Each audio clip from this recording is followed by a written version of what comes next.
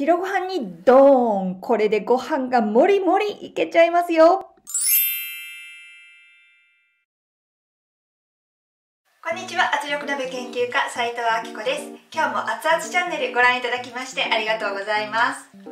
今回は牛肉と舞茸の甘辛煮をご紹介します。作り置きにもぴったりでもうご飯が何杯でも食べられちゃうそんな定番のおかずです。ぜひ作ってみてください。それでは作り方をご覧ください。材料はこちらです。牛肉と舞茸の甘辛煮を作っていきます。まずは牛肉の下ごしらえです。このまま調理してもいいんですがさっと熱湯をくぐらすことで余分な油やアクが取れて仕上がりがすっきりしますよ。まずはお湯を沸かしていきます。はいポコポコとお湯が沸いてきたのでそしたらもう火を止めてにお肉を入れますね。ここでぐらぐら煮立たせたりする必要はありません。このお湯の中でこうやってさーっとお肉を洗う感じほぐす感じですね。まだ赤いところがあっても大丈夫です。ここまでできたらざるにかけます。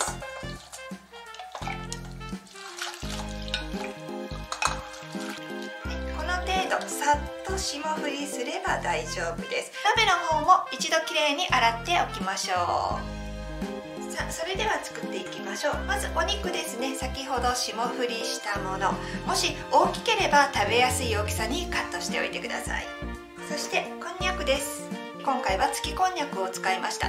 食べやすい長さに切って必要であればさっとアク抜きをしておいてください。玉ねぎです。1センチぐらいの細切りです。舞茸1パック。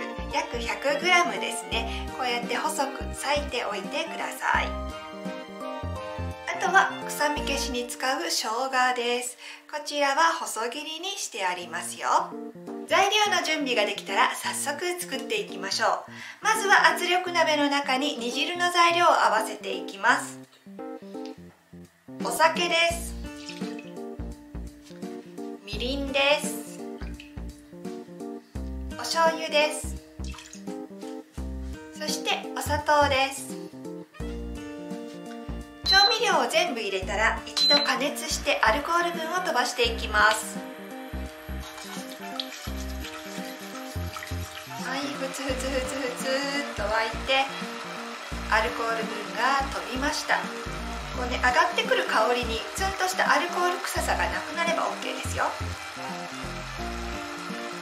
いではここで一旦火を止めて食材を入れていきましょう。玉ねぎですね。こんにゃくです。なんとなくイメージ的に味が染み込みにくそうなものから順に入れているような感じです。そして牛肉です。ね、まだところどころ赤いところありますがこの後圧力調理するので平気ですよ。そして生姜ですね。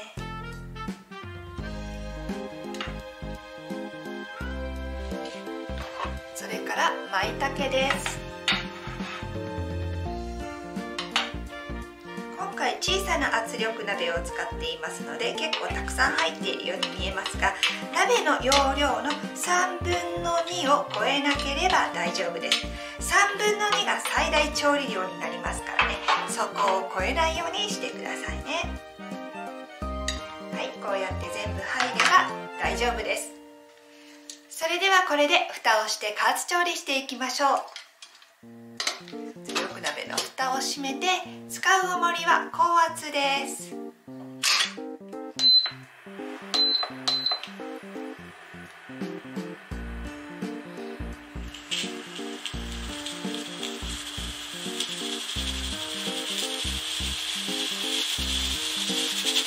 はい沸騰して圧力がかかりました重りが触れましたね。そしたらこの圧力鍋の場合はすぐに火を止めて OK です。火を止めたらこのまま圧力が下がるまで余熱でしばらく待ちましょう。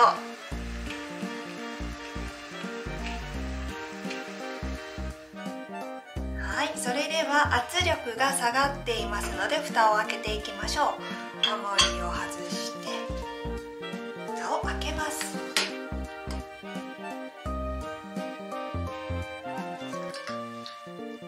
上の方の舞茸は正直味は染み込んでおりません。ただこれ日持ちするおかずにしたいのでこの後煮詰めていきますね。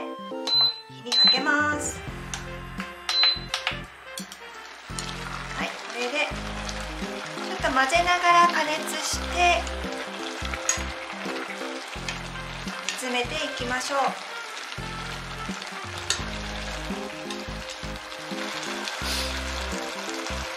回は舞茸で作りましたが代わりにしいたけを入れたりしめじを入れたりあと薄切りにしたごぼうやれんこんを入れても美味しいですよ。